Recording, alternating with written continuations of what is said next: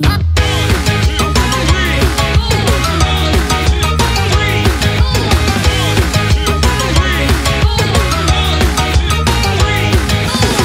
人になるほど出てってはみ出し物ですがランド。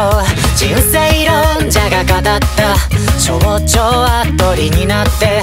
綺麗事だけでパパッパ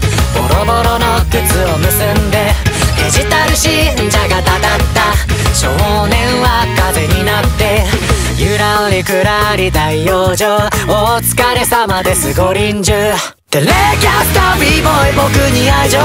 嘘で固めたお愛に。うざったいんだ。違う魅惑ハイテンション。カニバリズム踊